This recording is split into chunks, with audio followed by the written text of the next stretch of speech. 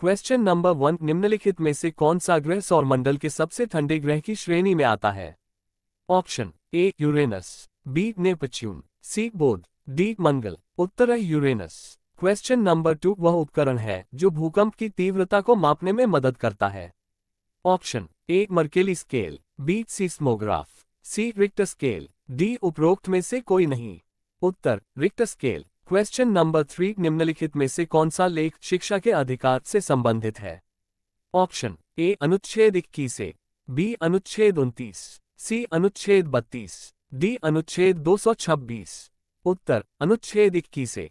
Question number four किस बंदरगाह को भारत के पहले हरित बंदरगाह के रूप में विकसित कहा जाता है?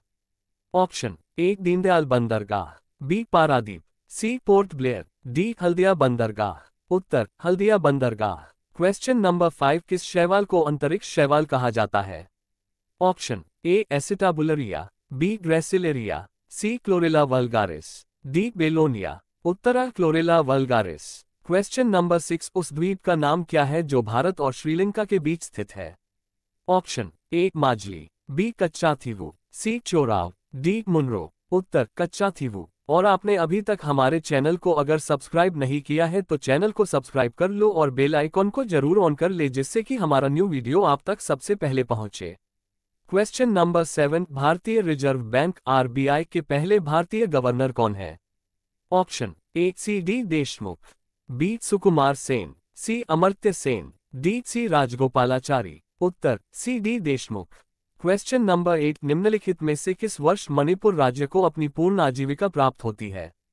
ऑप्शन ए एक मई 1960 बी 20 फरवरी उन्नीस सौ सतासी सी 26 अप्रैल 1975 डी 21 जनवरी 1972 उत्तर 21 जनवरी 1972 क्वेश्चन नंबर नाइन कौन सा विटामिन न्यूक्लिक एसिड और लाल रक्त कोशिकाओं के निर्माण में मदद करता है?